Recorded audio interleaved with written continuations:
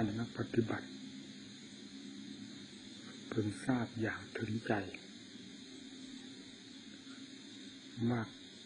การรบการต่อสู้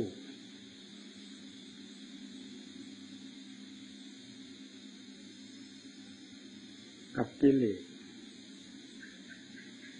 ซึ่งเป็นจะอำนาจครองโลกธาตุภายในจิตใจของสัตว์โลกนี้ เป็นสิ่งที่สำคัญอยู่มาก จึงเหมือนกันกับการทำสงครามล้างโลก ใครดีอยู่ ใครไม่ดีไปถ้ากิเลสมีความฉลาดแหลมคมยิ่งกว่าธรรมที่เราจะนำมาใช้ธรรมภายในใจก็บรรลัย ใจตกเป็นทาสของกิเลสตลอดไป ถ้าทำมาวุธ เครื่องประหัตประหารของกิเลส ที่เรานำมาใช้ มีกำลังมาก ไปโดยลำดับ กิเลส ก็ทนความบรรลัยไม่ได้ ใจก็เป็นอิสระ อย่างเต็มที่ประจักษ์กับตัวเองโดยไม่ต้องไปถามใครพระพุทธเจ้าตรัสรู้เพียงพระองค์เดียวเท่านั้น ไม่ทรงสนพระทัยว่าจะถามใครอีกในเรื่องความประจักษ์แห่งความบริสุทธิ์ของใจ ซึ่งแสดงผลประเสริฐอยู่ภายในพระองค์ท่านไม่ปรากฏว่าพระองค์ทรงสนพระทัยจะถามใครแม้คนหนึ่ง ภายในโลกทั้งสามนี้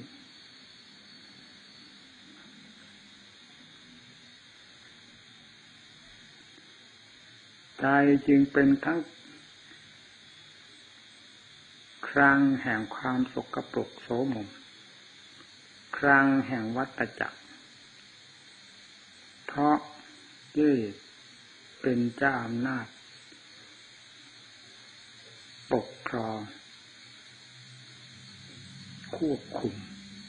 ใจอยู่ตลอดมา และเป็นครังแห่งความบริสุทธิ์ประเสริฐสุขในโลกทั้งสามนี้ไม่มีสิ่งใดเสมือนเสมอเหมือนได้ เมื่อสิ่งที่สกปรกรกรุงรัง คือ วัตจักร ได้สลายไปจากใจ หมดแล้วด้วยการปราบปราม โดยทางความเพียรและเครื่องมือที่ทันสมัย พระองค์จึงมีความสามารถฉลาดแหลมคมและทรงอุมอาจกล้าหาญเต็มที่ นับแต่ขณะที่ได้ตรัสรู้มา แล้วนำธรรมออกสั่งสอน โลกทั้งสามนี้ ได้เต็มเม็ดเต็มหน่วย เต็มอัดเต็มถังผู้มีความมุ่งต่อความจริงอยู่แล้ว จึงได้ถึงใจในขณะที่พระองค์แสดงอัตธรรมขั้นนั้น ๆ ซึ่งเป็นความจริงด้วยกันตามส่วนแห่งธรรม ให้เข้าถึงใจหรือทราบซึ้งถึงใจอย่างเต็มที่ เมื่อการแสดงถึงโทษ ถึงภัยที่เป็นอยู่ภายในจิตใจ ให้ถึงเหตุถึงผลถึงโทษจริงๆ ผู้ฟังก็ได้ฟัง และทราบซึ้งถึงโทษ ในสิ่งที่เป็นโทษภายในใจจริงๆ และได้ฟังทั้งสิ่งที่เป็นคุณ ให้ถึงใจจริง ๆภายในใจของตน จากพระโอวาทของพระพุทธเจ้าแล้ว ความเห็นโทษและความเห็นคุณนั้น จึงเป็นกำลังไม่มีสิ่งใดเสมอได้อีก เช่นเดียวกัน ที่จะมีแก่ใจ ในสิ่งที่จะละหรือควรละก็ต้องละด้วยความถึงใจ สู้กันถึงเป็นถึงตาย ในสิ่งที่จะควรบำเพ็ญมีความเจริญรุ่งเรืองขึ้นเพื่อถึงจุดหมายปลายทางอันเป็นสิ่งที่มีคุณค่าอย่างถึงใจนั้น ก็ทำอย่างถึงใจ สุดท้ายชีวิตจิตใจความเป็นอยู่ ร่าง ในสกุลกายความสุขความทุกข์ที่เป็นอยู่ในธาตุในขันธ ไม่มีอาการใดสิ่งใด ที่จะเป็นอุปสรรคต่อการดำเนิน ด้วยความเห็นคุณและเห็นโทษ อย่างถึงใจนั้นเลย เพราะพระพุทธเจ้าทรงรู้อย่างถึงพระไทยหรืออย่างถึงใจ ทรงสั่งสอนสัตว์โลก ด้วยพระเมตตาอย่างถึงใจเช่นเดียวกัน และธรรมนั้นก็ถูกต้อง ไม่มีผิดพลาดคลาดเคลื่อนตรงกับคำว่าสวขาตธรรมปรับไว้ชอบแล้วชอบแล้ว ทุกขั้นทุกภูมิแห่งธรรม ไม่มีแง่ที่จะสงสัย ทรงแสดงสิ่งใดว่าผิดต้องผิดไปตามที่ทรงแสดงนั้นแท้ ไม่เป็นอื่น ทรงแสดงว่าทางนี้เป็นทางถูก วิธีการนี้เป็นวิธีการที่ถูกต้อง ให้ส่งเสริมกำลังของตนและความภาคเพียรทุกด้าน เพื่อโหมตัวเข้าสู่จุดที่ตนต้องการอันเป็นผลที่จะพึงหวังนั้น อย่างเต็มที่เต็มฐาน ด้วยเหตุนี้บรรดาพระสาวกทั้งหลายที่ออกมาจากสกุลต่างๆ จึงไม่ปรากฏว่าสาวกองใดมีความห่วงใยพัวพันกับลูกกับหลานกับบ้านช่อง สมบัติพระสถานยศถาบรรดาศักดิ์มากน้อย เนื่องจากได้เห็นคุณเห็นโทษแล้วอย่างถึงใจในสิ่งทั้งหลายเหล่านี้ มาแล้วอย่างเต็มใจจาก พระโอวาทคำสั่งสอนของพระพุทธเจ้า และจากประสบประการที่ตนได้เคยผ่านมาแล้ว เป็นแต่เพียงว่ายังไม่เข้าใจในขณะนั้น เมื่อได้ยินได้ฟังพระองค์แสดงอย่างถึงใจแล้ว ยอมสลัดตัดขาดไปได้ทันทีความที่จิตเคยเยื่อใยในสิ่งทั้งหลายมาดั้งเดิมนั้น ย้อนกระแสเข้ามาเป็นความเยื่อใยใฝ่ธรรม พื่อนำตนให้ ประกอบความเพี้ยภาคเพียร อย่างเต็มที่เต็มฐานด้วยเหตุนี้กิเลสจึงต้องขาดไปเรื่อยๆ สถานที่อยู่ก็มุ่งแต่จุดสำคัญสำคัญที่จะเป็นสถานที่ฆ่ากิเลสได้เป็นอย่างดี อาหารการบริโภค ก็ มีความมุ่งหมายต่ออาหารประเภทสัปปายะ คือฉันลงไปแล้วเป็นเป็นเครื่องสนับสนุนความภาคเพียรโดยถ่ายเดียว พอและพอยังขันให้เป็นไปเท่านั้นไม่ได้ต้องการความอร่อยอร่อยในรสในชาติของอาหารประเภทนั้น ๆ ซึ่งเคยรับมาแล้วอย่างจำจี ไม่เห็นได้รับความวิเศษวิโสประการใดเลย จึงตัดออกจากความที่เคยเป็นมานั้น เข้าสู่ความเป็นอาหารสัพปายะ สะดวกสบายฉันลงไปแล้วเป็นคุณต่อจิตใจ ไม่เป็นโทษต่อจิตใจ และไม่เป็นเครื่องส่งเสริมร่างกายให้มีกำลังมากขึ้น เพื่อทับถมจิตใจ ให้ดำเนินด้วย ได้ด้วยความลำบากลำบนปุกระสัปปายะ คบค้าสมาคมก็มีตั้งแต่ผู้ปฏิบัติเพื่อที่จะหลุดพ้นอันเป็นความรู้ความเห็นประเภทเดียวกัน จึงคบค้าสมาคมกันได้ด้วยความสนิทตายใจ ประหนึ่งอวัยวะเดียวกัน ไม่เคยสนใจว่า ท่านองค์นั้นมาจากชาตินั้นวันนั้นนั้นฐานะนั้นเป็นต้น สนใจแต่ว่าเป็นที่ไว้ใจซึ่งกันและกัน เป็นเครื่องส่งเสริม สติกำลังศรัทธาความเพียรหรือปัญญาทุกแง่ทุกมุมที่จะให้มีกำลังมากขึ้น เพราะการคบค้าสมาคมหรือสนทนาซึ่งกันและกันเท่านั้น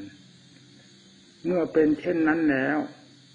ทำไมทำที่มุ่งที่ปรารถนาอยู่อย่างเต็มใจ และสัมผัสสัมพันธ์กับสิ่งที่จะส่งเสริมทำที่ปรารถนานี้ให้มีกำลังมากครับดูขึ้นโดยลำดับ แล้วทำเหล่านี้จะไม่เจริญรุ่งเรืองกิเลสจะไม่ค่อยเหือดแห้งหมดไปได้อย่างไรกิเลสต้องค่อยหมดไปทำที่พึงปรารถนา นับตั้งแต่สมาธิธรรมคือความสงบร่มเย็นภายในจิตใจ ไม่พุ่งสร้างนำคาญวุ่นวายสายแสไปตามอารมณ์ที่เคยเป็นมา ซึ่งเป็นเรื่องของกิเลสล้วนๆเหมือนอย่างที่เคยเป็นมา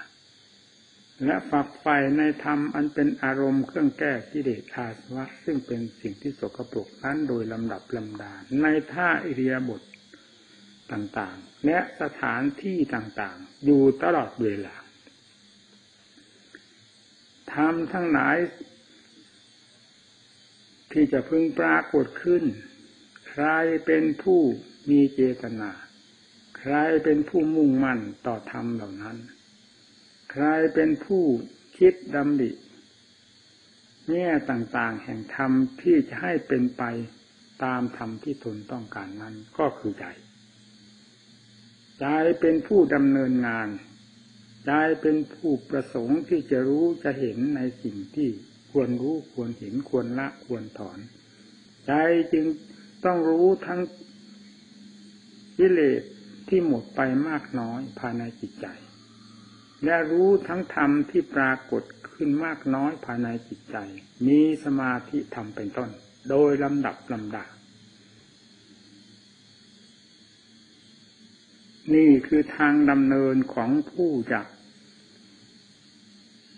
หรือพบหรือชาติ หรือวัฏฏะสงสารหรือกองทุกข์ทั้งมวล ซึ่งเคยแบกเคยหามเคยสัมผัสสัมพันธ์กันมา แต่กับใดกันใดก็ตามมีใจเป็นตัวการสำคัญที่ฝังเชื่อไว้ภายในตน เพื่อจะตั้งป่าช้าในภพนั้นภพนี้ มีวิบาก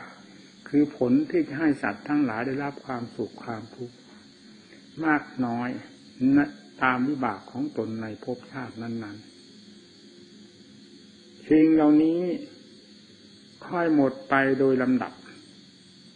เพราะอำนาจแห่ง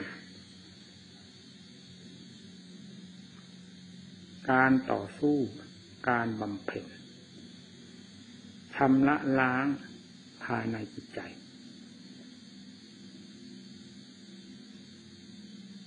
ผู้แสดงก็เป็นศาสดาองค์เอก เอกทั้งอุบายเนี่ยนำสั่งสอนต่างๆ เอกทั้งพระจิตที่บริสุทธิ์ล้วนๆ ผู้ฟังก็ฟังเพื่อทำอันเอก เพราะฉะนั้นดีต่อดีจริงต่อจริงเข้ามาประสานกัน จึงบวกกันเข้าเป็นความจริงล้วนๆได้อย่างเต็มสัดเต็มส่วนไม่สงไม่มีสงสัย ด้วยเหตุนี้จึงปรากฏอย่างเด่นชัดแล้วในตำราออกมาซึ่งออกมาจากปัจจุบัน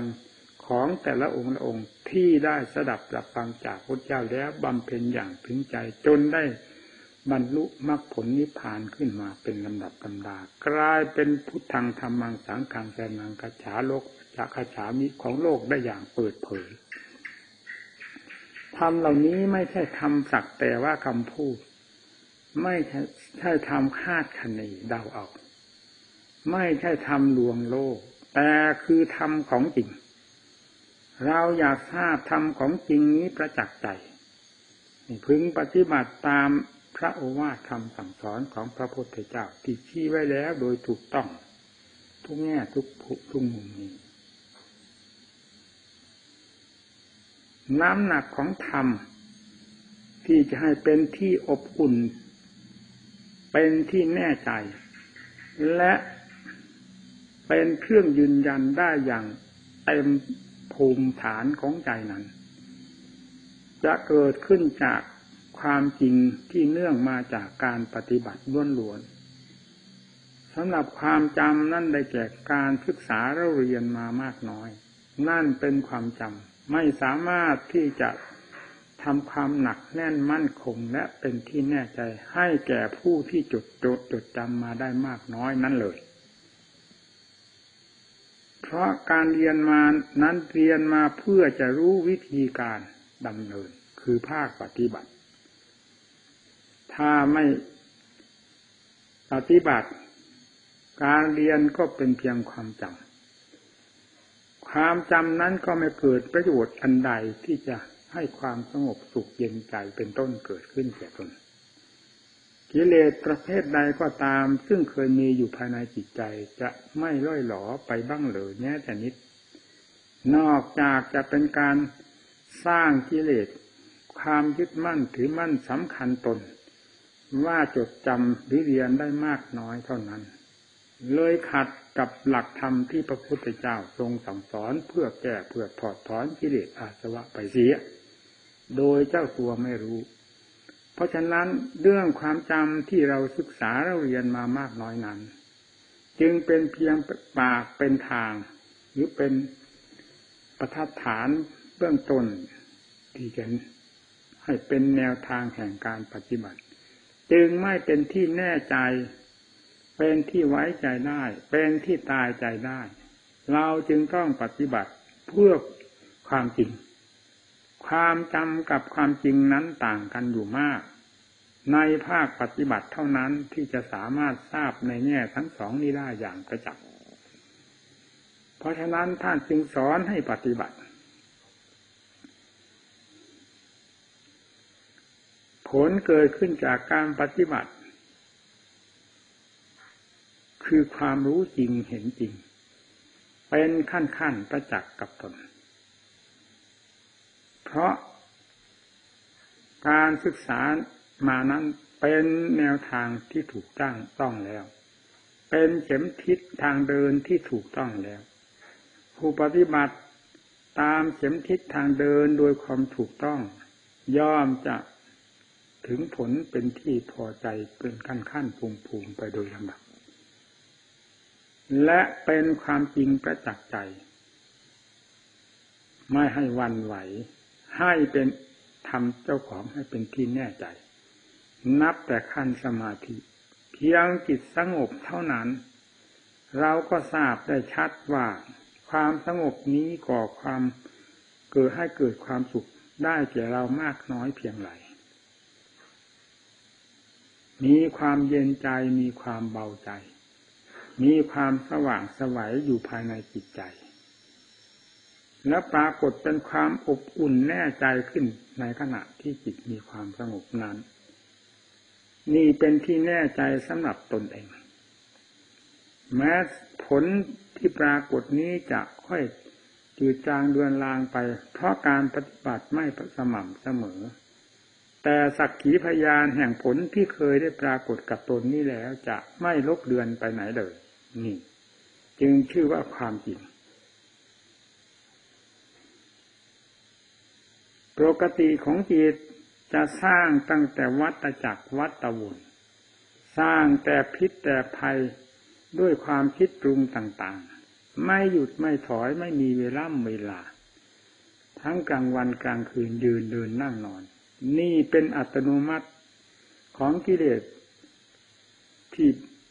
ผิดงานให้แก่สัตว์โลกได้รับความทุกข์ความลำบากเรื่อยมา เป็นเช่นนี้ทุกหัวใจของสัตว์โลก เป็นแต่เพียงว่าเจ้าตัวไม่ทราบเท่านั้น จึงต้องอาศัยหลักการปฏิบัติ เพื่อจะแก้จะถอดจะถอนจะระงับความคิดความปรุงอันเป็นเรื่องของกิเลสทั้งหลายนี้ ให้ปรากฏความเป็นธรรมขึ้นมา ด้วยวิธีการอันเป็นธรรมงานของเราที่ทำ นั่นแหละเรียกว่าวิธีการที่เป็นธรรม ผลที่เกิดขึ้นจากงานที่เราทำปรากฏเป็นความสงบเย็นใจขึ้นมาตามขั้นตามภูมิของตนจนมีความแน่นหนามั่นคงนี่เป็นผลขึ้นมาโดยลำดับลำดับ จะปรากฏขึ้นที่ใจ ใจเป็นภาชนะ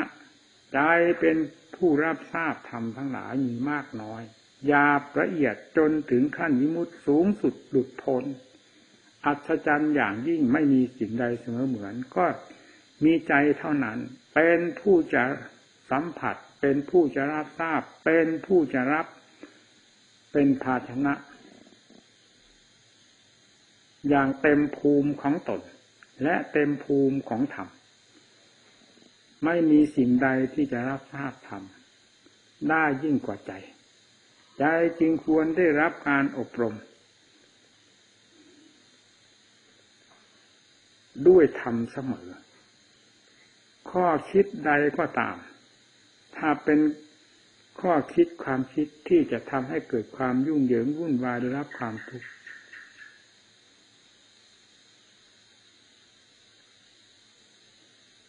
ความคิดนั้น เราอยากจะพูดว่าร้อยทั้งร้อย เป็นกลมายาหรือกลอุบายการกระทำของกิเลสทั้งหมด ความคิดความปรุงใด แม้จะลำบากในขณะที่คิดที่ปรุง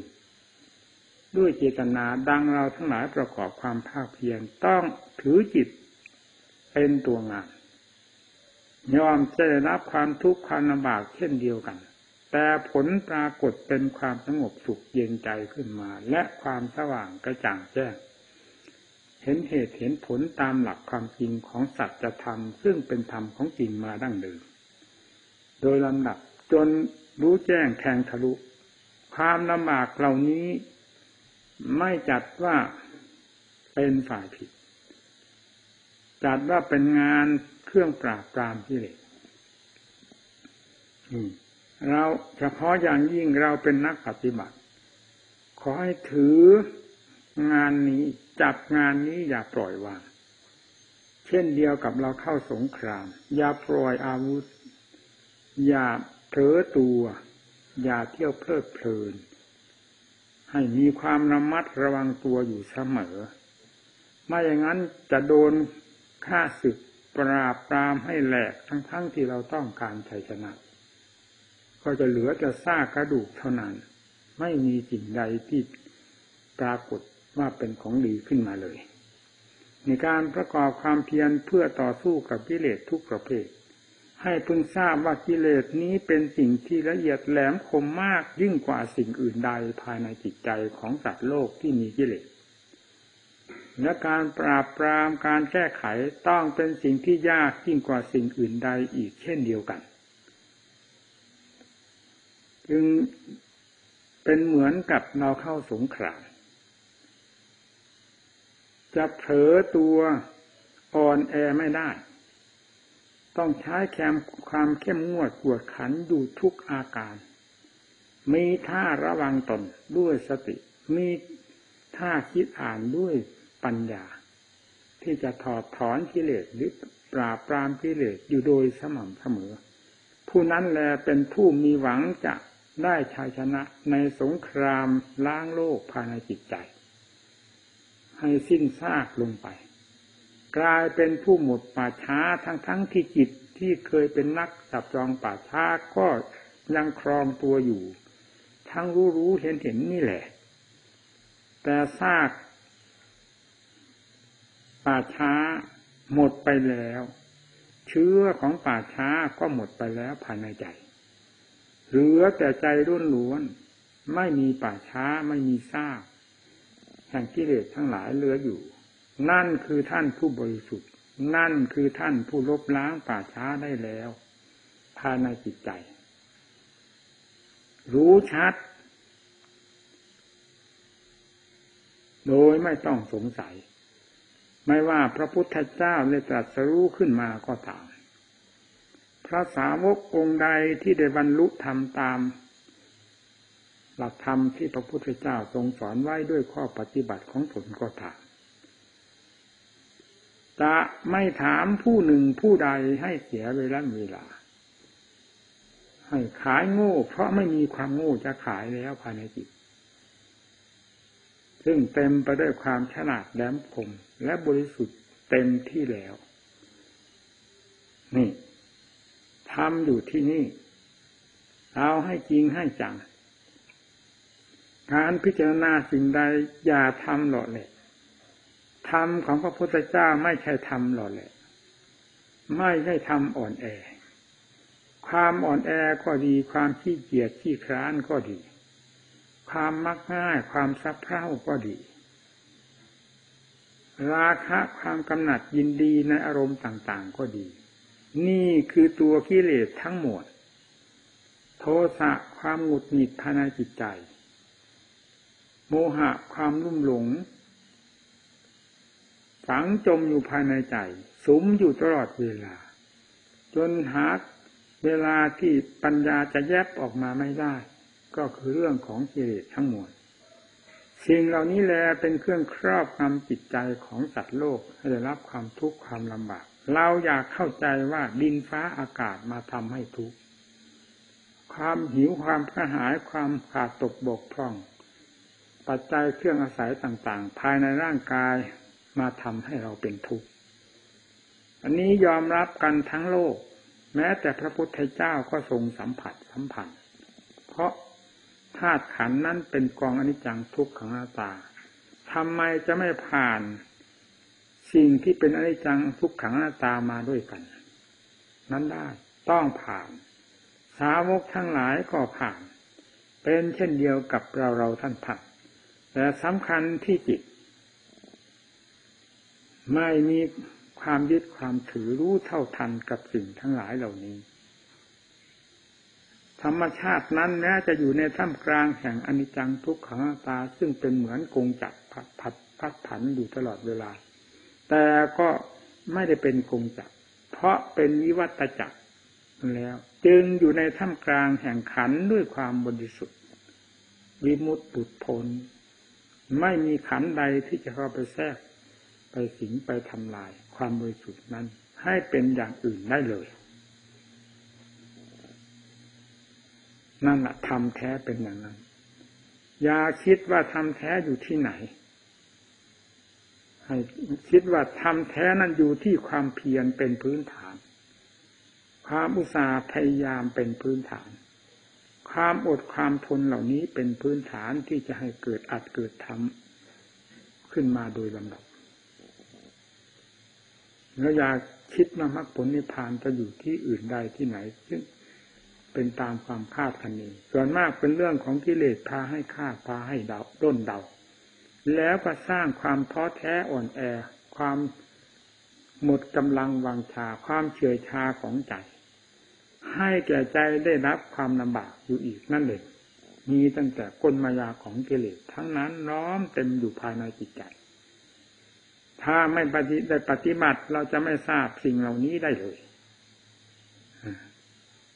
ต้องปฏิบัติ สติปัญญาเป็นสำคัญ ที่จะพิสูจน์สิ่งเหล่านี้ มีความเพียรเป็นเครื่องหนุนหลัง มีความอดความทนเป็นเครื่องสนับสนุนให้ต่อสู้ไม่ถอยหลัง พระพุทธเจ้าของเราไม่ได้ตรัสรู้ด้วยความท้อแท้อ่อนแออันเป็นเรื่องของกิเลสไม่ได้ทรง ท้อถอย ซึ่งเป็นเรื่องของกิเลสความอดทนก็รวมอยู่ในพระพุทธเจ้า ความเป็นนักต่อสู้ก็อยู่ในพระพุทธเจ้า ทุกสิ่งทุกอย่างบรรดาความเป็นธรรม เพื่อความหลุดพ้นเพื่อความเป็นผู้ประเสริฐแห่งความเป็นศาสดาอยู่กับพระพุทธเจ้าทั้งหมดจงนำคติตัวอย่างร่องรอยอันดีนั้น เข้ามาเป็นสมบัติของตนยึดไว้อย่าได้ปล่อยวางกิเลสอาสวะจะหนายิ่งกว่าภูเขาทั้งลูก จะไม่พ้นเครื่องมือที่พระองค์ประทานให้นี้ เป็นผู้ทำลายให้แตกกระจายออกไปจากจิตใจนี้ได้เลย เราเกิดในโลกเคยเกิดมานาน จะไม่ต้องพูดถึงเรื่องอดีตที่เคยผ่านมาแน่ว่าเคยเป็นภพใดชาติใดก็ตาม เพียงชาติปัจจุบันนี้ธาตุขันของเราเป็นอย่างไร เดินเข้าไปโรงพยาบาลจะเห็นตั้งแต่ป่าช้าผีดิบเกลื่อนฝนวุ่นวายสายแสดิ้นรนกวดแก่งกระเสือกกระสนไปด้วยความเจ็บปวดแสบร้อนด้วยโรคภัยไข้เจ็บประการต่างๆ เต็มไปหมดทุกห้องทุกหับทุกเตียง ผู้เข้าไปเยี่ยมคนไข้ก่อนหน้าเศร้าเหงาหงอย นั่นเป็นอย่างไร นี่คือกองอนิจจังทุกขังตาคือกองทุกควรจะเป็นพยานได้เป็นอย่างดีแล้วในปัจจุบันนี้ เราเองก็ไม่ได้เข้าโรงพยาบาลนั้น แต่ก็ยังต้องได้บำบัดรักษาตนด้วยยุกด้วยยาเท่ากับว่าเราอยู่โรงพยาบาลของสถานที่ที่เราพักอยู่ หรืออยู่ในกุฏิในศาลา พยาบาลด้วยยุกด้วยยา ไม่เช่นนั้นก็ต้องลำบากลำบนต้องบรรเทากันไปเช่นนี้ เห็นประจักษ์นี่เป็นส่วนธาตุส่วนขัน ความบกพร่องในปัจจัยทั้งสี่คือเครื่องนุ่งห่มใช้สอยอาหารการบริโภค ขาดดุขาดยา เพียงเท่านี้ก็แสดงความทุกข์ให้เราเห็นอยู่แล้วตั้งแต่ต้นมา จนกระทั่งปัจจุบัน เราจะสงสัยไปที่ไหนอีกว่าธาตุขันอันนี้จะเป็นหอประสาทราชมนเทียน เป็นพรหมโลกเป็นนิพพานให้เห็นได้รับความสุขความสบาย พอจะเพลิดเพลินรื่นเริงกับมันเสียจนลืมเนื้อลืมตัว อันเป็นเรื่องของการถูกกล่อมจากกิเลสให้หลับสนิทมิดจม โดยไม่รู้สึกตัว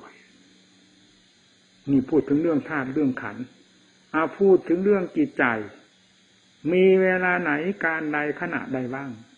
ที่เราได้รับความอิสระเสรีมีความอยู่สะดวกสบายไม่มีเรื่องมีราวก่อควรภายในจิตใจ เพราะอำนาจของกิเลสเป็นผู้ทำงานผิดทุกข์ขึ้นมาเหยียบย่ำทำลายจิตใจของเหล่านั้น ไม่ความโลภก็ต้องความโกรธ ไม่ความพอใจก็ความไม่พอใจ ไม่รักก็ชังกำหนัดยินดีติดนั้นติดนี้ อยู่เช่นนี้ซึ่งเป็นการสร้างเหตุเพื่อผลให้เกิดความทุกข์ร้อน เหยียบย่ำทำลายภายในจิตใจของตน อยู่ตลอดมา เพราะไม่มียาแก้ ไม่มีเครื่องสังหาร นี่ก็ให้เห็นชัดๆอยู่แล้วว่า ใจ ที่เป็นอยู่ปัจจุบันนี้ด้วยอำนาจของกิเลสให้ความสุขแก่เราอย่างไรบ้าง นอกจากสร้างความไม่สมหวังให้เราอยู่ตลอดเวลา หากจะมีความสุขบ้างก็เป็นเรื่องพิเศษเสกสรรสันท่านยอดด้นด้นเดาเดาเกาหมัดกันไปตามโลกตามสงสารเท่านั้น ความจริงแล้วมันมีตั้งแต่เหยื่อล่อปลากิเลส หาเหยื่อมาล่อคนโง่ ให้ติดจมไปเท่านั้นเอาถ้าเราอยากทราบพิงเหล่านี้ว่าเป็นเหยื่อล่อ แก้ลงไปฝืนไปตามหลักธรรมที่เป็นเครื่องต่อสู้กิเลสเราอยากคล้อยตามกิเลสจะไม่ใช่เป็นเรื่องต่อสู้ จะเป็นเรื่องยอมจำนนกิเลสมันพาให้รัก รักเพราะเหตุผลกลไกอันใดนี่คือการต่อสู้คือการพิสูจน์หาความจริงกัน รักรูปรูปไหน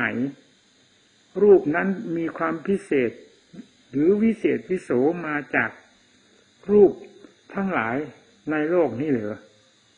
วิเศษวิโสไปจากรูปของเราซึ่งเป็นรูปดินน้ำลมไฟเป็นกองทุกนี่ไปอย่างไรบ้าง รูปนั้น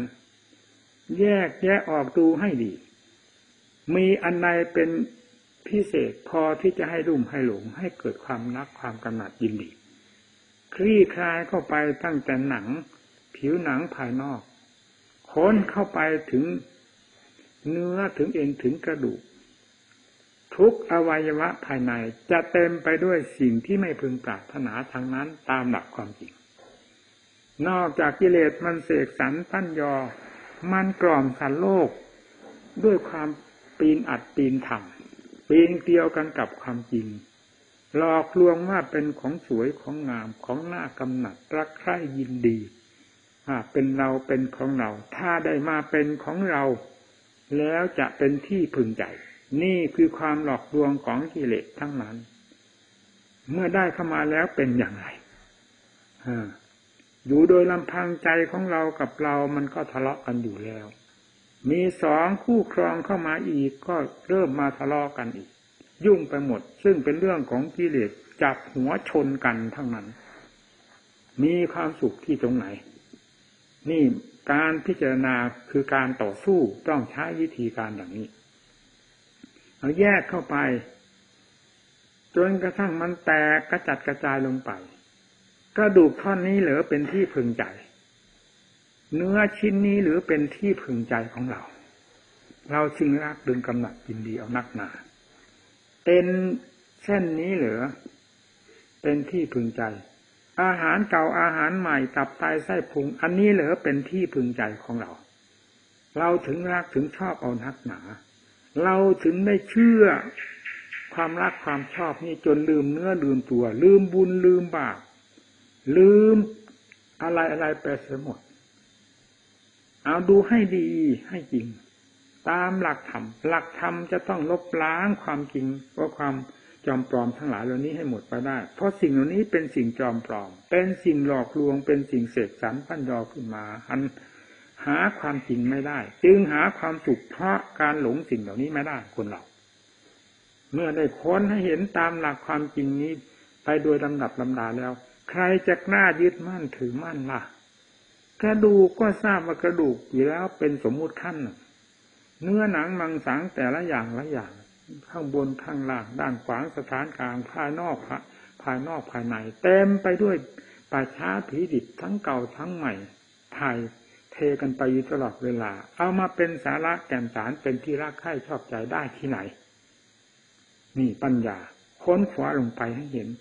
ค้นแล้วค้นเล่าพิจารณาแล้วพิจารณาเปิดออกมาเรื่อยๆขุดค้นลงไปเรื่อยๆทำไมจะไม่ถึงแก่นแห่งความจริงตามหลักธรรมเล่านี่เมื่อพิจารณาให้เห็นตามหลักความจริงไปโดยลำดับจิตย่อมมีความสง่าผ่าเผย มีความอุงอาจกล้าหาญมีความเชื่อต่อความจริง และมีความเห็นโทษในความจำปลอมที่เคยเชื่อ มาเปรนานอันเป็นเรื่องของกิเลสหลอกลวง ไปโดยลำดับเช่นเดียวกัน แล้วปล่อยวางได้ ไม่ต้องบอกให้ปล่อย เมื่อเห็นโทษตามหลักความจริงอย่างถึงใจแล้วทำไมจะไม่ปล่อยโทษ คนเราไม่ต้องการหาโทษหาทุกนี้นะหาคุณหาประโยชน์ หาความสุขความสบายทั้งนั้น การเป็นที่เคยเป็นมานั้น มันเอาความสุขความสบายมาฮะมาให้เราที่ไหนมั่ง การแก้สิ่งเหล่านี้ให้เห็นตามหลักความจริงของธรรมที่ตรัสไว้ชอบแล้ว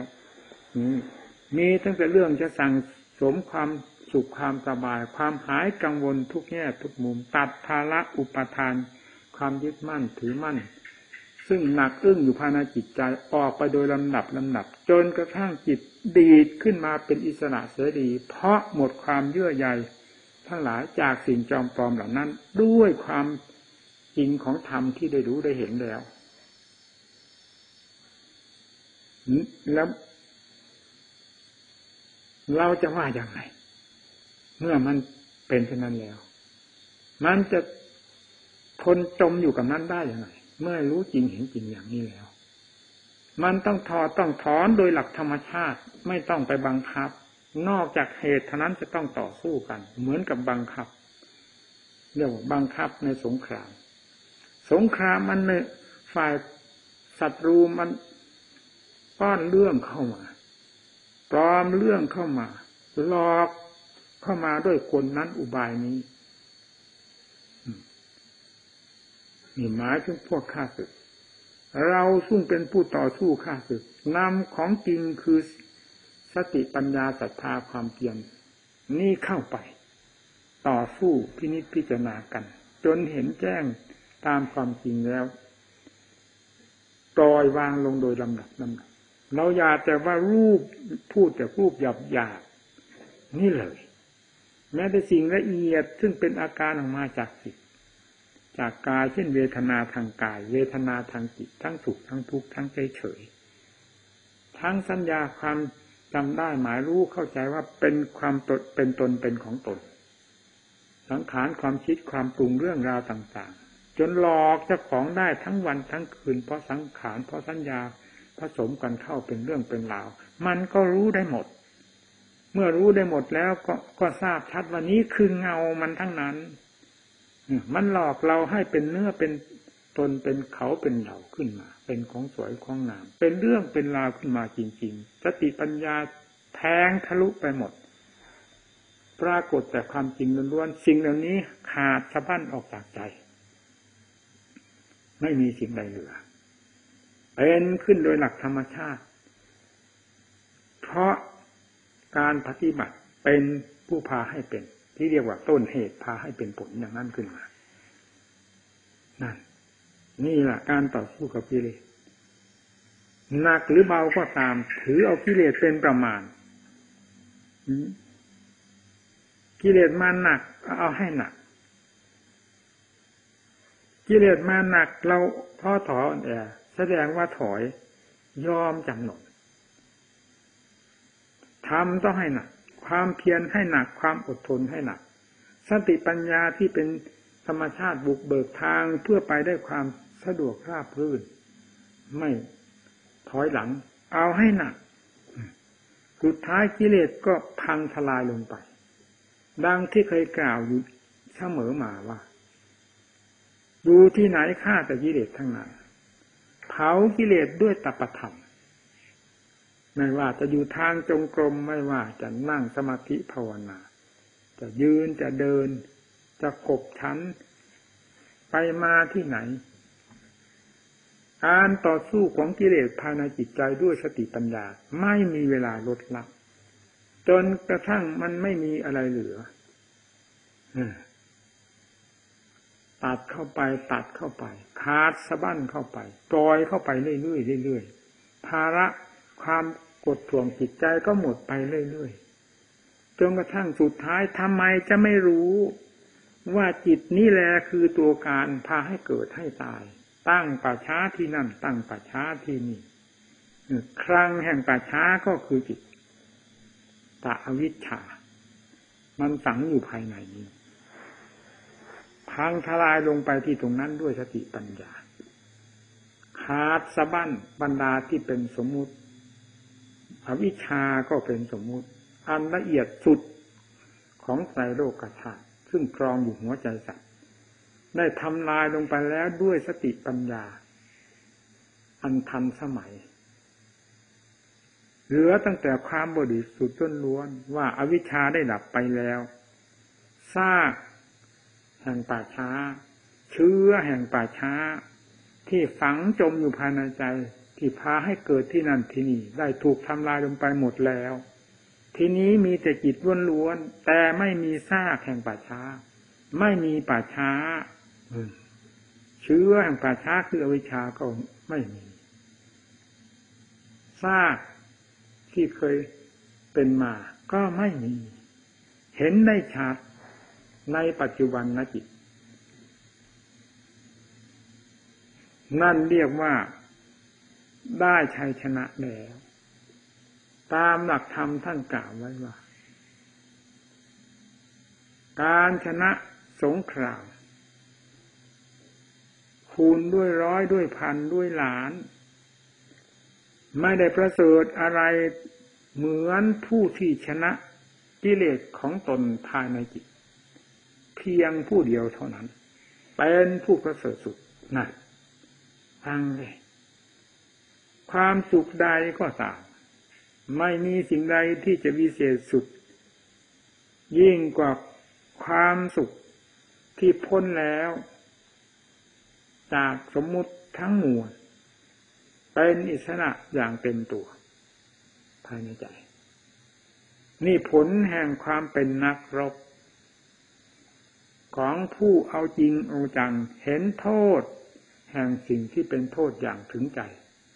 เห็นคุณในสิ่งที่เป็นคุณอย่างถึงใจ แล้วรวมเป็นกำลังของน้ำใจให้เกิดความเพียรขึ้นอย่างถึงใจภูเขาเจ็ดชั้นก็แตกกระจาย ถ้าความเพียรได้เต็มที่ เข้าในจุดใด จะไม่มีอะไรเหลือ มีกิเลสจะให้หนายิ่งกว่าความกำแพงเจ็ดชั้น หรือหนายิ่งกว่าภูเขาก็ตามเถิดนัตถิปัญญาสมาอาภา ไม่มีสิ่งใดที่จะรู้แจ้งแทงตลอด ไปยิ่งกว่าปัญญานี้ได้ เพราะฉะนั้นปัญญาจึงไม่จึงสามารถแทงทะลุไปหมด บรรดาความมืดดำกำขาวทั้งหลาย ซึ่งเคยมีอยู่ภายในจิตใจ เพราะอำนาจของอวิชชาไม่มีเหลือเลย เหลือตั้งแต่งานังอุดาปาดิงานได้เกิดขึ้นแล้ววิชาอุดาปาดิปัญญาได้เกิดขึ้นแล้ว อาโลโกอุดาปาดิความสว่างกระจ่างแจ้งรอบจิตรอบโลกธาตุได้เกิดขึ้นแล้วท่านกล่าวไว้แล้วในธรรมจักรวัตปวัตนสูตรกล่าวจากความรู้จริงเห็นจริงด้วยการปฏิบัติจริงของพระพุทธเจ้า ในธรรมจักรกับปวัตนสูตรนั้น อยู่ที่ไหนเวลานี้ทุกอยู่ที่ไหน ถ้ามาอยู่ที่หัวใจของเราด้วยกัน สมุทัยคือกิเลสประเภทต่าง ๆ อยู่ที่ไหนถ้ามาอยู่ที่หัวใจของพวกเรามรรคคือสติสมาธิถิสมาสังกปรเป็นต้นจนกระทั่งถึงสมาสมาธิเป็นที่สุด มีอยู่ที่ไหนถ้าไม่มีอยู่ที่หัวใจของพวกเรา มื่อมีอยู่ที่นี่ นิโรธคือความดับทุกข์จะดับที่ไหน ถ้าไม่ดับที่ตรงนี้ เพราะฉะนั้นธรรมจักกับปวัตนสูตรที่ท่านแสดงนั้น ท่านถอดออกไปจากความเป็นจริงของพวกเราทุกๆท่านมาสอนพวกเราให้ มีความรู้แจ้งเห็นจริงโดยถ่ายเดียวเท่านั้น ที่จะพึงได้รับ นั้นให้พากันเข้าใจหยุดติดตามไม่เพียงเท่านี้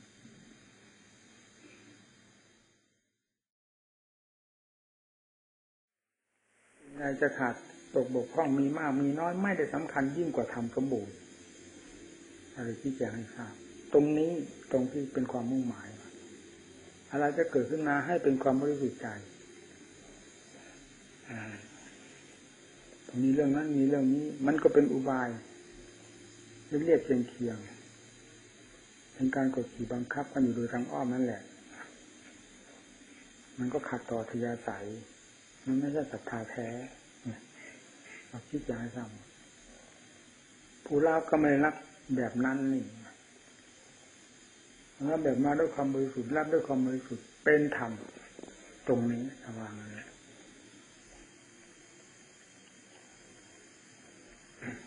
มันเป็นอย่างนั้นนี่นะ คิดหมดแล้วนี่ในนั้นข้าสอนหมู่เพื่อนเลยมองไปที่ไหนก็มองหมดเราก็เคยเกิดกับโลกมานานนั่นเห็นอะไรดีเห็นอะไรพิเศษ จนลืมเนื้อลืมจนจะลืมเนื้อลืมตัว มันก็เห็นมาแล้วมันเป็นมาแล้วจิตพูดถึงเรื่องรักผมก็เคยพูดในหมู่เพื่อนฟังจนกระทั่งนอนไม่หลับ มันจะตาย อืมนั่นจะเป็นคารวะ รักผู้หญิงไม่ใช่อะไรรักก็เป็นรักญาติวงกันด้วยถูกผู้ใหญ่ตีแหลกฝ่ายหนึ่งก็ว้าวดีเป็นวงสกุลเดียวกันญาติเดียวกันได้กันก็ยิ่งเป็นกันเอง ก็ยิ่งง่ายอืเนี่ยทางหนึ่งก็เห็นอย่างนั้น อ่าทางหนึ่งว่านี่พวกจะมาทำลายสกุลกันเหรอเนี่ยนะคนนี้ชื่อว่างั้น คนนี้ว่างั้นเรียกกันว่างั้น ที่นี้จะมาให้เรียก คนนี้เป็นปู่คนนั้นเป็นย่าคนนี้เป็นอย่างนั้นถือมาเรียกกันได้ลงคอหรือนั่นถือว่าเป็นที่ดีมงคลอะไรในการทำลายญาตินี่เหรอนั่นพวกมันขึ้นอย่างนี้ในวงญาติพิจารณาดูทางเหตุผลแล้ว เราก็ยอมอ้าวถ้างั้นก็ตาด มันจะตายก็ยอมตาย เอามาแล้วก็ไม่เกิดประโยชน์ ลงด้วยขวางผู้ใหญ่ขวางญาติขวางวงขวางสกุลแล้ว เอาประโยชน์อะไร จากสิ่งเหล่านี้ทั้งทั้งที่มันจะตายไม่ใจมันรักเอามาแล้วมันก็ขีดมันก็ขวางนั้นนะฮะความเจริญไม่ได้เพราะเราเพียงเท่านี้ทำความเสียหายแก่วงสกุลมากมาย ไม่มีใครเห็นดีด้วย แล้วเอาไปทำใหม่นี่ก็เคยเป็น ตัดลงอย่างขาดสะบั้นเลยหัวใจนี่ขนาดนั้นนะไม่ใช่เล่นนะจิตนี่นะนี่อย่างนี้มันก็เคยเป็นมาแล้ว แล้วเคยสู้มันมาแล้วด้วย ต่อไปก็เป็นมาหัวเราะเรื่องเจ้าของมันพ้นเหมือนกันนะแต่ก่อนมันก็มีมันก็มีญาติมีวงมีพ่อมีแม่ มันจะมีแต่มันคนเดียวเก่งกว่าพ่อกว่าแม่กว่าญาติกว่าวงกว่าใครทั้งหมด จะให้ได้อย่างใจ เหมือนอย่างนั้นนิเรศน่ะ มันหนักขนาดนั้น แต่เวลาเรื่องทั้งหลายขึ้นมาแล้ว เหตุผลหนึ่งเพราะเราก็ไม่ต้องการจะเป็นคนเลวขนาดนั้นจะทำได้ลงคอหรือมันก็ต้องยอม ยอมทั้งทั้งที่ตัวกิเลสมันไม่ยอมเอาเอาไม่ยอมก็เอาตาย เห็นจะวงสกุลว่าขาดไปบ้าง พอปฏิบัติก็ไปเจอตรงนั้นอีกก็ไปเจอตรงนี้เรามาแก้กิเลสมันทำไมถึงมาเป็นแบบนี้คนไม่เคยพบหน้าพบตากันเลยตั้งแต่วันเกิดมามาเจอก็มันทำไมมันถึงเป็นแบบนี้มันอะไรมาแก้กิเลสแล้วทำไมมันถึงมาเจออย่างนี้เนี่ยตาดกันเรื่อยฟาดกันเรื่อยนี่หมายถึงว่าจิตที่ยังไม่มีหลักเกณฑ์มันเป็นไปได้นะรอบกันอยู่นั่นแหละมันไม่มีอะไรที่จะ กวนใจยิ่งกว่าตัวนี้เท่าที่ทำผมปฏิบัติมา ตัวราคาปัญหานี่ตัวเด่นที่สุด และตัวดื้อที่สุด ตัวทำลายตัวเองทำลายทำทั้งหลาย โดยไม่รู้สึกตัวที่สุดก็คือตัวนี้เวลาที่เหยียบหัวมันลงไปมันถึงจะรู้มันได้ชัดโอ้โหขนาดนั้นเลยเหรอพอตัวนี้มันสงบลงไปมันก็ เย็นเลยทีนี้สบายไปหมดโอ้ยังรู้ว่าต้องแหมตัวนี้เป็นค่าสึกสำคัญมากฟาดมันลงไปฟาดมันลงไปเนื้อยิบยิบยับยับมาตีลงไปฆ่าลงไปอย่างกระทั่งเรื่องของโลกกว้างแสนกว้างหมายแสนหมายมุ่งแสนมุ่ง เห็นอันนั้นวิเศษอันนี้วิโสมก็จางไปจางไป เพราะทำไมมันถึงจางทีก็เพราะ อันนี้มันเด่นนี่ทำนี่เด่นในหัวใจเด่นขึ้นเด่นขึ้นมันก็ปล่อยแล้วนี่อะไรก็สู้นี้ไม่ได้สู้นี้ไม่ได้สูงขึ้นสูงขึ้นเด่นขึ้นมันปล่อยกว่ามันฟาดไปซะจนโลกธาตุภายในจิตใจนี่มันสะเทือนหมดแตกกระจายหมดแล้ว เห็นอะไรที่นี่นั่นน่าจะธาตุจะขันมันจะไปเมื่อไหร่ก็ไปสิเนี่ย อยู่นี่ก็อยู่มานานแล้วนะอ่า พาอยู่พากินพาหลับพานอนพาขับพาถ่ายยุ่งแต่เรื่องอันนี้ทั้งนั้นเนี่ยพาราฮาเวปัญจขันธาไม่มีอะไรหนักยิ่งกว่าขันทั้งห้านี้ภูเขาทั้งลูก เราไม่ได้แบกมันจะรู้ว่ามันหนักได้ยังไง แต่ตัวนี้เราแบกไปทุกวันทำไมจะไม่รู้ว่ามันหนักนั่นที่พระเจ้าว่าพาราคือปัญจขันธามันหนักด้วยอำนาจของอุปทานด้วยความรับผิดชอบด้วย เอาอุปทานความยึดมั่นถือมั่นมันหมดไปมันก็หนักด้วยความรับผิดชอบอีกอันหนึ่งแง่หนึ่งของมันพาราคือปัญจขันธาหาไม่อยากอยู่กับไปสิเกิดมานี่กันนานแล้วได้อะไรบ้าง ก็มีแต่เพียงขาสองแขนสองหัวหนึ่งก็เท่าเดิมไม่เห็นมีอะไรจะเพิ่มเติมขึ้นมา พอที่จะเพื่อเพลินเรื่องเรื่องมันถึงเพื่อหวังนั้นหวังอะไรจากอันนี้ต่อไปนี่มันก็ไม่มี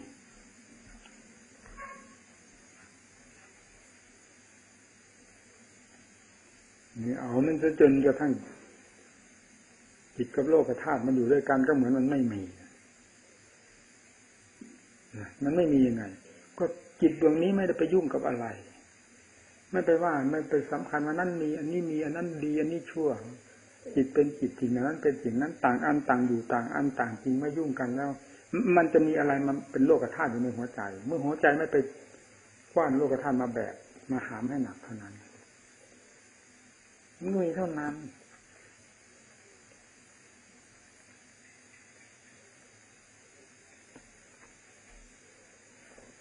นี่ผมไม่ตกวิจารณ์กับหมู่กับเพื่อน เป็นห่วงเป็นใยมากถึงเรื่องปัญญา ความแยบขายมันเห็นอยู่ทุกแง่ทุกมุมทุกระยะ อันนี้ผมไม่ตั้งใจจะมาเพ่งโทษหมู่เพื่อน ผมเป็นอาจารย์ของหมู่เพื่อน สอนหมู่เพื่อน บกพร่องตรงไหน เหมือนกับนักมวยครูกับนักมวยเขาต่อยกันนั่นเองเวลาฝึกซ้อมกัน ครูกับนักมวยฝึกซ้อมกันนี่เขาเล่าให้ผมฟังเขาเป็นครูมวยอ่านี่ที่เรื่องพูด ผมก็ไม่ได้ไปเป็นนักมวยเป็นครูมวยอะไรแต่อยู่กับโลกมันก็ต้องได้ยินได้ฟังได้เห็น เวลาต่อยกันต่อยกันวันนี้อย่าเปิดตรงนั้นนะครูนะบอกนะ ต่อยไปต่อยไปอย่าเปิดตรงนั้น แล้วก็ต่อยไปต่อไปพอครั้งที่สามก็ปั้วใส่ปึงเข้าไปแล้ว ครูน่ะพอสมมติว่าเปิดตรงนั้น อะไรจะขึ้นตรงนั้นสมมติว่าศอกจะเข้าตรงนั้น หรือหมัดจะเข้าตรงนั้น หรือเข่าหรือเตะมันจะเข้าตรงนั้น ไม่บอกเป็นเพียงว่าจะเปิดตรงนั้น จะเปิดตรงนั้น พอถึงครั้งที่สามก็ปั้วเข้าไปเลยพอเตะก็เตะเลย จะเปิดตรงนั้นนานนี่เป็นครูเป็นผู้ต่อย เป็นผู้เตะ ไม่ได้ตาย ไม่ได้เจ็บมากเหมือนผู้ต่อสู้ต่อยถ้าเผลอคู่ต่อสู้อย่างนั้นแล้วเสร็จนี่เพราะฉะนั้นครูจึงต้องเตือนเลยทั้งต่อยทั้งเตือนอยู่นั้นตลอด นี่เขาพูดให้ฟังมันก็ชัดเลยสิจะเปิดตรงนั้นจะเปิดตรงนั้นบอกพอครั้งที่สามปุ๊บเลย จะเปิดตรงนั้นนะทีนี้ นักมวยมันก็เข็ดมันก็รู้เลยสิสองเพราะไม่ได้ต่อยให้ตายนี่ต่อยฝึกซ้อมกันเพื่อความชำนิชำนาญเพื่อความรอบครอบตัว รักษาตัวได้ได้ชัยชนะเขาฝึกกันเพื่อนั้นต่างหากอันนี้ก็มองเห็นที่ไหนก็เหมือนกับว่าจะเปิดตรงนั้นดูดูดูที่ไหนก็เหมือนกันดูเรื่องอะไรก็เหมือนกับว่าจะเปิดตรงนั้นนั่นเอง มันเห็นอยู่ชัดแส ดงว่าปัญญาไม่ได้ใช้แล้วก็คูดอยู่แล้วว่าอะไรแหลมคมยิ่งกว่ากิเลสในหัวใจของเรานี่ในโลกธาตุนี่ไม่มีอะไรแหลมคมยิ่งกว่ากิเลสใช้แบบทื่อๆก็ไปให้เขาต่อยเขาตายเฉยๆได้หรือฝึกต้องซ้อมดีสีปัญญาหมุนต้มกินไม่ได้นี่ ฝึกหัดใช้พลิกแพงเปลี่ยนแปลงหลายสันหลายคม ต่อไปมันก็ค่อยเข้าใจของมันเองพอมันได้ผลแล้วมันก็เข้าใจ แล้วมันก็มีแก่ใจผมคิดหลายครั้งแล้วผมก็ไปมันกินมันกระดูดก็ดื่มเพราะเห็นผลไปเรื่อยๆนี่แล้วปัญญาเขาค่อยแตกกระจายออกแตกกระจายออกตั้งแต่ส่วนยาว แล้วก็ซึมซาบไปถึงส่วนละเอียดส่วนละเอียดเข้าไปมันเหนือเหนือปัญญาได้ไงนี่จะกระทั่งเข้าถึงที่มันเลย นี่เป็นปัญญาสติกับปัญญาไปด้วยกันนะเมื่อถึงขั้นเป็นอันเดียวกันแล้วแยกไปออกนะสติกับปัญญาแยกไม่ออกมันไปด้วยกันเป็นอย่างพอจิตกระเพื่อมนะกระเพื่อมปรุง มันถึงขนาดนั้นนะมันถึงทันกัน เมื่อถึงขั้นมันทันกันแล้วพอจิตคันที่จิตปรุงนั่นคือกระเพื่อมแล้วนั่นการกระเพื่อมนั่นแหละคือการปลุกสติปัญญา ซึ่งมันจ่อตัวอยู่อย่างนี้แล้วพ อกระเพื่อมพับรู้ทันทีเลย ดับพับเอาดับดับพับลงไปก็ตามตามพ้น ถ้ามันปรุงขึ้นมาด้วยสมุทัยเนี่ย มันจะไม่นั่นนะมันตามพ้นกันหลายครั้งแล้วผลมันกระทนไม่ไหว ขาดสะบั้นไปได้นะสัญญาเป็นของฝึกได้ฝึกไม่ได้พระเจ้าไม่สอน ในตัวของเรานี่ฝึกให้เป็นคนดีได้ ถ้าเราไม่ยอมเชื่อกิเลสเสียว่าจนไม่มีครูมีอาจารย์มีศาสดาอยู่ภายในใจว่าอย่างไรก็ต้องได้สำคัญที่มันเชื่อกิเลสจะจนเป็นยิ่งกว่าพ่อกว่าแม่กว่าครูกว่าอาจารย์กว่าศาสดาไม่มีทางถ้าอย่างนั้น คนที่เชื่ออย่างนั้นแหละคือคนที่จะทำตัวให้จงที่สุด ไม่มีทาง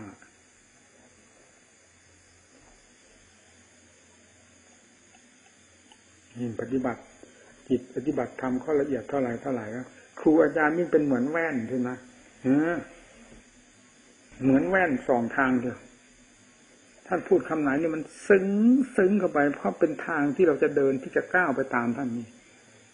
ท่านรู้แล้วท่านเห็นแล้วพูดตรงไหนไม่ผิดนี่ แล้วคนอื่นมาพูด พูดไม่รู้ เอาคำจำมาพูด เอาคำในฐานะว่าตัวเป็นอาจารย์ตัวเป็นมีอายุพรรษามาพูด มันเข้าความจริงไม่น่านี่ ความจริงมันไม่ชูไม่ใช่ครู ไม่ใช่อาจารย์ ไม่ใช่อายุพรรษามากน้อย ความจริงคือความรู้จริงเห็นจริง จะเป็นขั้นใดก็ตามพูดได้เต็มปาก นี่สำคัญตรงนี้ เพราะฉะนั้นครูบาอาจารย์องค์ใดที่ท่านมีความจำนิชำนาญนั่นผ่านไปแล้วแยกออกมาแล้วเรารู้ทันที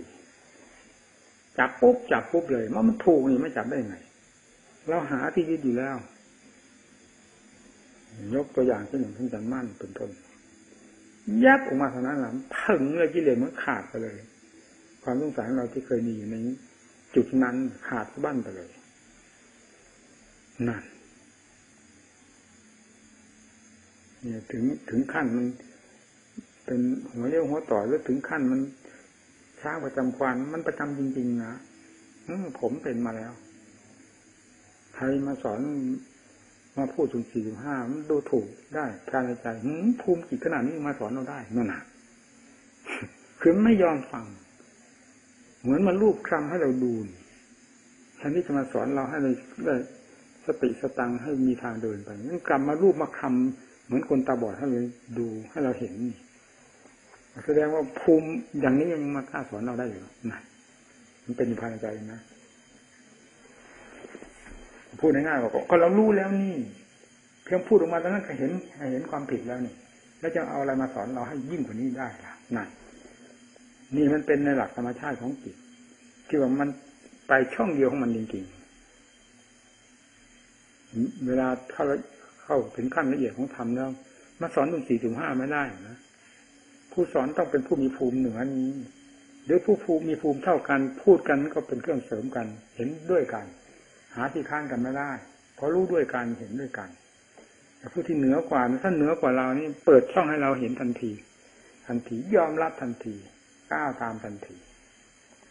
นี่แหละภาพปฏิบัติเหมือนกับว่าถอดจากจิตดวงนี้ใส่จิตดวงนี้ที่เรียนมามากน้อยมัน มันก็เหมือนยาทั้งหีบทั้งตู้นั่นแหละยกกันมาทั้งหีบทั้งตู้มาทุ่มแต่คนไข้มัน เกิดประโยชน์อะไร นอกจากทำให้คนไข้ตายเท่านั้นเป็นหมอผู้ชำนิชำนาญมาแล้ว ในเรื่องอยู่เรื่องยาแล้ว เขาไม่จำเป็นจะต้องไปเอายามาทั้งหีบทั้งตู้เลยเขาถามอาการเท่านั้นตรวจดูแล้วป้าเขาจะไปเอายาที่เหมาะสม กับที่เขาตรวจแล้วว่าเป็นโรคชนิดนั้นควรจะแก้ด้วยยาอย่างนั้นควรฉีดเขาก็เอาน้ำนั้นมาฉีดหลอดสองหลอดเท่าที่เห็นว่าจำเป็นเท่านั้น อันนี้ธรรมะก็เหมือนกันไม่ใช่มันจะไปยกมาทั้งประกายประโยคมาทุ่มกันทุ่มกัน ทุ่มก็เหมือนอย่างแบบยาทั้งหีมาทุ่มกันนะให้ทุ่มคนไข้มันตายทิ้งหรือเปล่าเอามาเฉพาะที่เหมาะกับผู้กำลังดำเนินอยู่ในจุดนั้น จะต้องแก้ไขด้วยวิธีนั้นเท่านั้นนะภาพตรงไปตรงนั้นมันพังทลายเลยนะไม่ได้พูดมากทั้งปฏิบัติ ยิ่งเข้าไปละเอียดเท่าไหร่ยิ่งไม่ได้พูดมากเลย ใส่ป้าเข้าไป แยบเดียวเท่านั้นได้ความได้ความ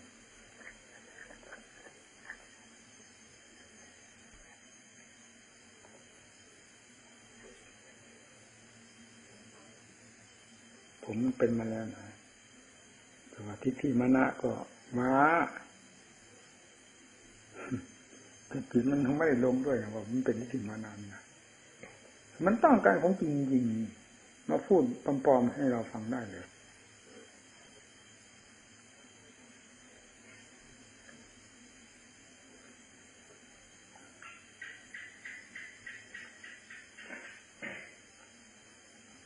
เป็นของฝึกได้ กิเลสมันเป็นของเครื่องแฝงไม่ใช่ เป็นของดั้งเดิมไม่ใช่เป็นเนื้อเป็นหนังจริง ๆ เหมือนจิตจำไม่ให้ดีจิตนี่เป็น ธรรมธาตุมโนธาตุธรรมธาตุแท้ๆกิเลสแม้จะเป็นวิชาเรียกขนาดไหน มันก็เป็นสมมุติ มันแทรกอยู่ในนั้น เพราะฉะนั้นจึงแก้ได้ เพราะเป็นสิ่งที่แฝงอยู่กันอยู่ ไม่ใช่เป็นเนื้อหนังอันเดียวกัน แท้จึงแก้ได้ ไม่ว่ากิเลสประเภทใด ไม่ว่าความรักความชังความโกรธความเกลียดชนิดหยาบชนิดกลางชนิดละเอียด มันเป็นเหมือนกาฝาก มันอย่างนั้นไม่ใช่ตัวจริง มันเกิดอยู่กับต้นไม้ต้นนั้นจริง แต่มันเป็นกาฝาก มันไม่ใช่ต้นมันต้นไม้ต้นนั้นแท้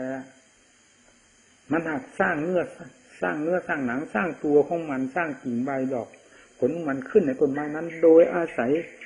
เอาต้นไม้นั้นเป็นอาหารของมัน นี่ก็กิเลสมันสร้างเนื้อสร้างตัวขึ้นมาภายในจิตใจ มันเอาใจของเรานี่เป็นอาหารของมันเพราะฉะนั้นจึงต้องแก้มันได้ มันเป็นกาฝาก ทำไมแก้ไม่ได้ แก้ไม่ได้คนดีได้ไงพระพุทธเจ้าตรัสรู้ได้ยังไงเป็นปัญญาของลูกได้ไงทำไมเราจะนำมาแก้เราแก้ไม่ได้ ถ้าเราไม่เป็นคนหมดสาระคุณสักอย่างเดียวเท่านั้น มันต้องแก้ได้ ถ้าจะเอาความรู้ความเห็นของกิเลสมา เข้าทำลายสารคุณจนหมดกลายเป็นคนหมดคุณค่าหมดหวังไปแล้ว มันก็สิ้นท่าหาความหวังไม่ได้แล้วเป็นคนไข้ของนี่คอยมันจะลมหายใจ นอนข้าเข้าอยู่ในห้องไอซียูเท่านั้นพวกเรามันไม่ใช่ประเภทไอซียูนี่นะมันประเภทที่จะต่อสู้กันได้กับกิเลสโทษคุณมันก็เห็นอยู่กับใจอยู่แล้ว